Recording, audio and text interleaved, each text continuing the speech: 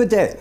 Ira Epstein with your Spider ETF video for this Monday, the 13th of April, 2020, and we're getting on now at about 6.30 in the uh, evening. And I am late in part. I was watching the president talking today's uh, update I guess that's what you call it, his daily updates with the press, is going on for an hour. Everybody's been on. I mean, everybody. So I, I have to digest what it all means. But as we take a look at what's going on, it's a mixed sea today. A lot of red, a lot of green, no one way. And that's something I often look to see what's going on. As we come to the technology spider, you can see how the market's been working its way back up. The pattern is bullish because you have higher lows and higher highs from over here.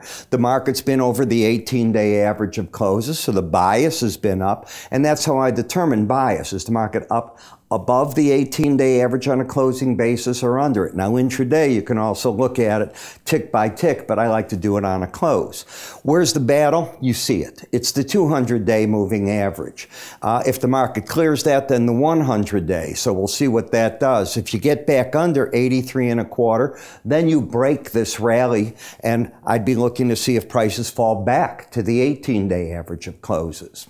In terms of Bollinger Bands, you got up to them last last week. You're trying to get up to them again. Fell back a little today, as I said. That's a lot of resistance. If you looked last week with me, the combination of the 100 day average and uh, 200 day average, I'm sorry, and Bollinger Bands is an important resistance point. When we look at momentum out of the slow stochastics, it is overbought.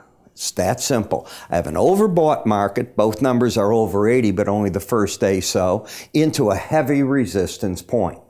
When we come to the U.S. Semiconductor 25 Index called SMH, we've had a pattern of what? Coming up. Then we broke through this other day, this low. So we have a higher high lower and low pattern. That's not a trend. You're fighting the battle at the 200 day average to the upper Bollinger Band, and you're also here in a pattern that's interesting. Both numbers today closed over 80. If we go back to Thursday, both were over 80. Remember, we weren't open for uh, Good Friday. The day before, they weren't. Tomorrow's a real important day. Are we going to get what's called embedding?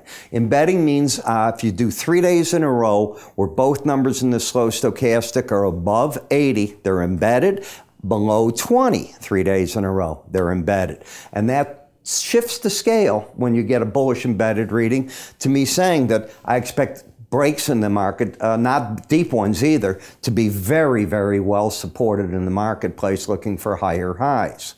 You don't have that pattern in the industrial sector. You're just overbought in an uptrend. The market tried on uh, that's Thursday, to get up to the upper Bollinger Band, slip back a little bit today. Trend though still up unless you take out 6043. The energy sector, I think this acted poorly today. I mean, here you are, President Trump, I did hear as I was turning off my, my studio to do one thing, in other words, get into another video, and he's uh, still talking that he thinks it'll be closer to a 20 million barrel a day cut. We'll see. First of all, saying that you're going to cut is one thing. The math of the cut's always interesting. Is the Saudi number from the 12 million barrels they went to at the beginning of April or the 10 they were doing prior to that? You tell me. Then compliance. Who's complying with it? How are they getting at these numbers? How much is he taking of U.S. production that, remember, the president cannot order oil producers not to produce. That's an antitrust violation. But he's, he will count American cuts as happening because of price. Well, we know that is true. The law of economics will, will get rid of anything that's expensive. If you can't make money at it, you stop making it. That's the law of economics. But here we are with a market that is running into resistance at that upper Bollinger Band.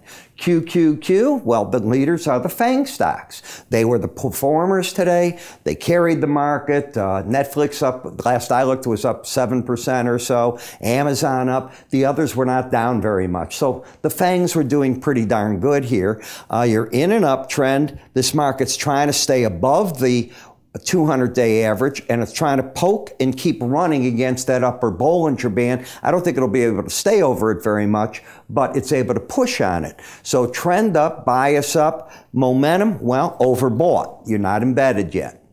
As we get to the emerging market ETF, same trend. Higher lows, higher highs, overbought. Hasn't been able to get to a Bollinger Band. You break this if you get under 5360 in GLD. I think the world has woken up to understand that currencies are getting debased around the world. And what I mean by that is that whenever you're trying to pull out of this COVID-19, the newest event, and the world central banks are rushing to the helps of their economy, which they should be doing. That's what they're there for, stability in some manner. Uh, where's the money coming from? How's the money brought back, if ever? Uh, where's the forgiveness? Well, let's assume there is uh, a lot of forgiveness. You don't owe the money. Well, you're flooding the market with money. So what do people do? They run to the precious metal sector. And I think gold is seeing that coming into it. Gold miners, well, if I own a gold mine and I have a mine that's going to produce this year, oh, a million ounces, just making a number up for you. Uh, and it was Six months ago, $1,300. Now it's $1,750 an ounce. Well, that mine's worth a lot more money. Are, are people not going to pay attention to that? So that helps you with that part. TLT 20, 20 plus years. I, the bond market is rolling on futures to the downside, which means rates went up. Now, that helps the stock market. You know, the only reason that rates went as low as they did is there was panic in the market. We're also seeing the Fed come out today and with their repo facility, and this was New York Fed, came out and said, we don't have to do two operations a day. We can go to one because the market's much more stable. So we are losing some of that panic. And remember, the Fed's moves were meant to make central bankers not have to fight for dollars. And since the Fed did that, the dollar's been falling down. The Fed is winning that battle as well. The Fed wins a lot of battles. You don't want to battle them. You've got higher lows, higher highs in the euro currency, trend up, momentum up. I think the trade's a, a, buyer in this market around the 103 area. Now the question is they don't want it under 102.60, otherwise the market starts getting away from them. I want to remind you, Modern Trader, we have all these different brochures that are so neat. If you go to our website under free offers, we've got plenty of free offers galore there. Take a look at what we offer. I think you'll find it interesting. This one was profitable trading strategies in any market. We've got others with many rules. They teach you uh, all the different indicators. A lot to be learned there. I'm Ira Epstein. Thanks for watching. I'll see you tomorrow.